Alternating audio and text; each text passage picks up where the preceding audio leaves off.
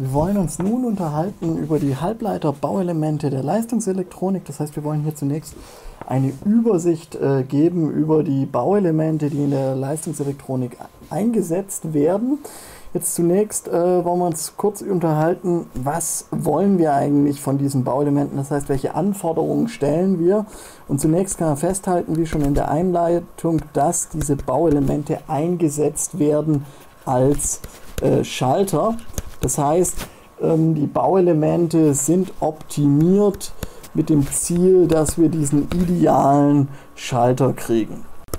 Das heißt, anders als ähm, bei Bauelementen in der klassischen Elektronik sind die wesentlichen Anforderungen, dass wir einerseits hohe Spannungen sperren können im Auszustand und ähm, dass das Bauelement sehr hohe Ströme führen kann im Einzustand, ohne kaputt zu gehen. Das sind also die wesentlichen Anforderungen an leistungselektronische Bauelemente.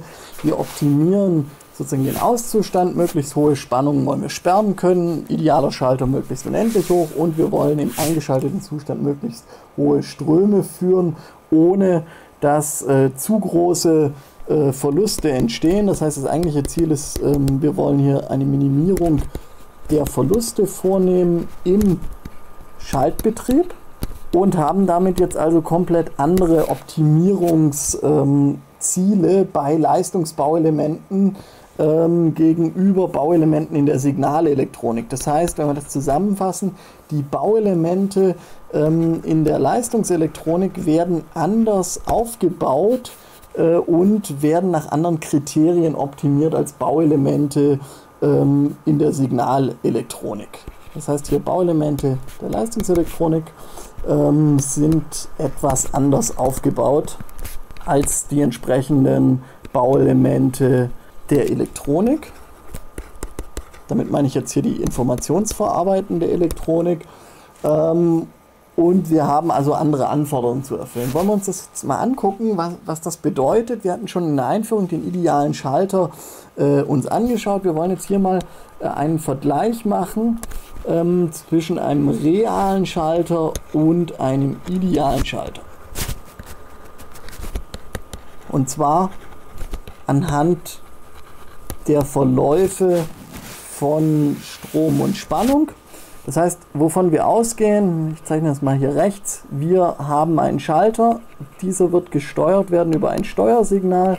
Über dem Schalter wird eine Schalterspannung US abfallen und ein Strom IS fließen. Und wir wollen uns jetzt mal anschauen, wie jetzt ähm, sich hinsichtlich dieser Größen der Ideale von dem realen Schalter ähm, unterscheidet. Dazu machen wir hier links den idealen Schalter, rechts werde ich die Verläufe des realen Schalters machen. Fangen wir an oben. Als erstes wollen wir sozusagen das Steuersignal uns darstellen. Das heißt, ein logisches Signal, das jetzt nur den Zustand angibt, ähm, ist der Schalter ein oder aus. Das ist jetzt in beiden Fällen gleich. Sagen wir, wenn das hier auf einem High-Pegel ist, sei der Schalter eingeschaltet. Wenn es auf einem Low-Pegel ist, sei er ausgeschaltet. Das heißt, hier oben haben wir ein, dort unten aus. Und wie gesagt, das sei jetzt noch gleich. Weil das von außen kommt, das wird jetzt erstmal nicht beeinflusst durch unser Bauelement. Und jetzt wollen wir überlegen, was macht jetzt der Schalter, ähm, der ideale und der reale Schalter, wenn wir das vergleichen. Fangen wir zunächst an mit dem idealen Schalter. Der ideale Schalter wird jetzt nach Möglichkeit im Einzustand, das heißt, wenn wir hier das Signal auf High haben, bis zu diesem Zeitpunkt im Einzustand, wird er keinen Spannungsabfall nach Möglichkeit haben. Das heißt, wir werden hier in diesem Zustand eine Spannung von 0 kriegen und er wird dann umschalten, sofort in diesem Augenblick ähm, wo das Steuersignal von High auf Low geht, das heißt hier von Ein auf Aus geht, wird er umschalten an dieser Stelle und dann eine maximale Sperrspannung aufnehmen, die dann durch unsere Schaltung vorgegeben ist. Das heißt, wir haben hier an der Stelle das Hin- und Herschalten bezüglich der Spannung. Wir haben einen Scheitelwert US Max der Spannung, den Maximalwert, den der Schalter sperren soll im Auszustand und im Einzustand ähm, haben wir eine Spannung von 0 Volt hier. Das ist äh, das, was der ideale Schalter macht bezüglich der Spannung. Wie wird das jetzt aussehen bei einem realen Schalter. Bei einem realen Schalter werden wir jetzt hier schon einen leichten Unterschied feststellen können. Das heißt, wenn wir hier die Schalterspannung betrachten, ähm, wird man folgendes feststellen können. Reale Schalter haben einen Restspannungsabfall im eingeschalteten Zustand. Das heißt, wir werden an dieser Stelle nicht ganz auf die Spannung 0 kommen, sondern wir werden im eingeschalteten Zustand eine Spannung haben, die größer als 0 ist. Hier US größer als 0. Im komplett ausgeschalteten Zustand werden wir natürlich dieselbe Sperrspannung haben, wenn das Bauelement nicht defekt ist. Das heißt, hier werden wir irgendwo dieselbe Sperrspannung US Max haben. Und jetzt wird es noch einen Unterschied geben. Tatsächlich werden wir hier äh, an der Stelle auch einen nicht schlagartigen Übergang kriegen, sondern so ein lang, eine langsame Änderung zwischen Ein- und Auszustand. Schauen wir uns nochmal an hier so. So wird es vielleicht irgendwie verlaufen. Das heißt, wir werden nicht schlagartig ähm, ausschalten, wir werden aber auch nicht schlagartig einschalten können an dieser Stelle. Das wäre jetzt der Verlauf, den wir haben. Das ist also beim realen Schalter. Jetzt schauen wir noch weiter, wie sieht das mit dem Strom aus. Auch hier wieder der ideale Schalter. Wenn wir den idealen Schalter hätten ähm, an dieser Stelle, dann hätten wir hier einen Strom im Schalter, der dann null ist, wenn der Schalter ausgeschaltet ist. Das heißt, in diesem Intervall hier, wenn der Schalter im Auszustand ist, fließt kein Strom durch das Bauelement. Im Einzustand hingegen wird der maximale Strom fließen, auch wieder hier so ideal umgeschaltet an dieser Stelle. Ähm, er schaltet schlagartig um auf den Strom IS Max und im Auszustand haben wir wieder den Strom 0. Ähm, beim realen Schalter wird auch das hier wieder unterschiedlich sein. Das heißt tatsächlich werden wir beim realen Schalter, wenn wir das hier betrachten, auch hier sehen, dass wir zwar dann, wenn wir eingeschaltet sind, das heißt auch hier in diesem Einzustand sind an dieser Stelle, ähm, dass wir dann für eine gewisse Zeit natürlich den Maximalwert des Stromes hier führen. Das heißt, wir werden den gleichen Wert IS Max wie vorher auch hier führen. Vielleicht ein bisschen niedriger, wenn der Schalter sozusagen selber den Strom begrenzt, aber es wird jetzt auch folgendes sein: ähm, Im Auszustand wird ein geringer Strom, sag ich mal, üblicherweise als Sperrstrom fließen. Das heißt, wir werden auch hier nicht an der Stelle ganz den Strom null kriegen. Ähm, tatsächlich ist dieser Sperrstrom häufig sehr, sehr gering äh, im Mikroampere-Bereich oder so, dass wir ihn vernachlässigen können, aber er wird eigentlich da sein. Und es wird auch folgendes passieren, genauso wie bei der Spannung wird auch hier der Strom nicht schlagartig runterspringen können beim Übergang vom einen in den Auszustand, wenn das Steuersignal sich ändert, sondern beim realen Schalter wird das hier auch wiederum langsam abnehmen.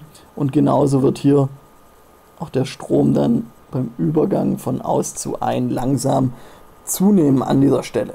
Das heißt tatsächlich, wenn wir das so betrachten, werden wir hier sehen, wir haben hier schon gewisse Abweichungen äh, von den Verläufen des idealen Schalters. Und was ist jetzt sozusagen das äh, Entscheidende, wenn wir jetzt hier im letzten Diagramm unten uns mal nämlich den Verlauf der momentanen Verlustleistung aufzeichnen, P von T, dann werden wir sehen, okay, tatsächlich momentan Verlustleistung ist das Produkt Spannung mal Strom am Bauelement. In diesem Fall des idealen Schalters haben wir überall den Verlauf 0. Hier ist P von T konstant gleich 0. Es treten keine Verluste auf beim idealen Schalter, weil er sofort schlagartig umschaltet und weil nie gleichzeitig Strom und Spannung auftreten. Beim realen Schalter hingegen sehen wir, tauchen jetzt hier Verluste auf. Und was haben wir? Wir haben zum einen während der Einschaltphase hier einen Restspannungsabfall. Ja, das sehen wir hier an der Stelle. Wir haben hier einen Restspannungsabfall. Wenn wir P von T betrachten, U mal I, ein gewisses Produkt von 0 verschieden. Das heißt, in diesem Bereich an dieser Stelle haben wir irgendwo eine momentan Verlustleistung, die Leitverluste oder Einverluste des Bauelements. Dann sehen wir, wir haben hier ein Zeitintervall, in dem sich sozusagen Strom und Spannung ändern.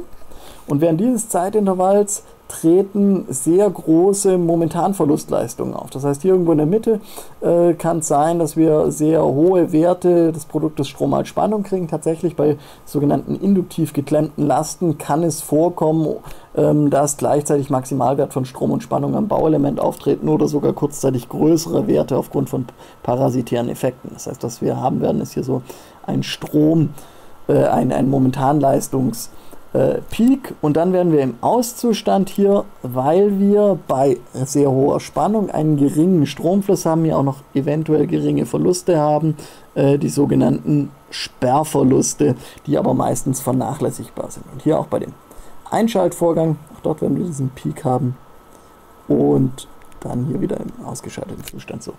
Verluste. Das heißt, wir sehen jetzt hier an der Stelle, okay, bei einem realen Schalter treten Verluste auf. Ströme und Spannungen können sich nicht beliebig schnell ändern. Und wenn jetzt genau hinguckt, werden wir sehen tatsächlich, wir haben auch Verzögerungen jetzt drin. Das heißt, ähm, der reale Schalter kann nicht beliebig schnell einschalten, aber kann auch nicht sofort einschalten. Also nicht mal dieser Anstieg beginnt direkt nach dem Umschaltsignal, sondern wir haben hier irgendeine gewisse Verzögerungszeit, nehmen wir die TD vom englischen Delay, wir haben eine gewisse Verzögerungszeit sowohl beim Ein- als auch beim Ausschalten. Das heißt, fassen wir das mal kurz zusammen, aufgrund dieser Verläufe, ähm, als Vergleich sozusagen von realem mit idealem Schalter bei dem realen Schalter haben wir Verzögerung und endliche Anstiegszeiten.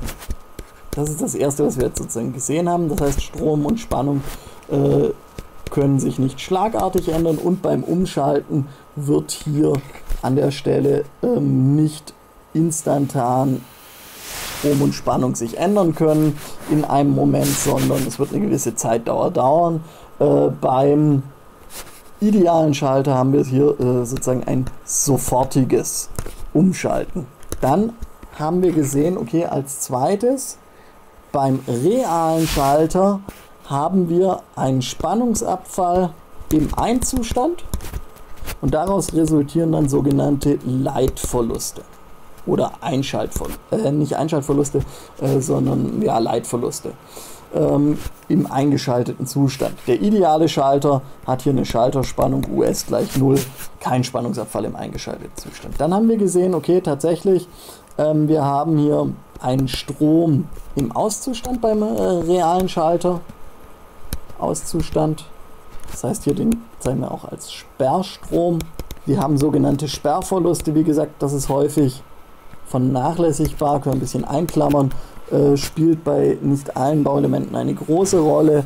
Äh, beim idealen Schalter haben wir das hingegen nicht. IS ist gleich 0. Und als letztes können wir jetzt noch sagen, okay, tatsächlich, ähm, das hängt eigentlich zusammen mit diesen endlichen äh, Anstiegszeiten. Beim realen Schalter treten auch noch Schaltverluste auf, äh, die bedingt sein können, nicht nur, aber auch bedingt ähm, durch Überlappung von Strom und Spannung während des Ein- und Ausschaltens äh, und hier beim idealen Schalter haben wir dieses Problem nicht. Das heißt, hier hätten wir äh, keine Verluste. Das heißt, es ist ganz grob äh, an dieser Stelle, was wir festhalten können. Das heißt, reale Schalter ähm, werden Verluste aufweisen. Das ist die wesentliche Quintessenz und auch werden die realen Schalter nicht beliebig hohe Spannungen sperren können und beliebig hohe Ströme äh, leiten können. Das heißt, äh, werden es äh, später betrachten bei den Bauelementen. Wir werden tatsächlich Bauelemente auswählen, äh, je nachdem, wie viel Spannung sie sperren können oder wie viel Strom sie führen können. Das heißt, in der Leistungselektronik, wenn man einen äh, zum Beispiel 100 Volt 10 Ampere MOSFET ähm, kauft oder einsetzt, heißt das, der kann 100 Volt sperren und maximal 10 Ampere im Leitzustand führen, wobei man dann auch wieder aufpassen muss, okay, wie äh, ist das letztlich ähm, definiert, die, vor allem dieser Stromverlauf. Das waren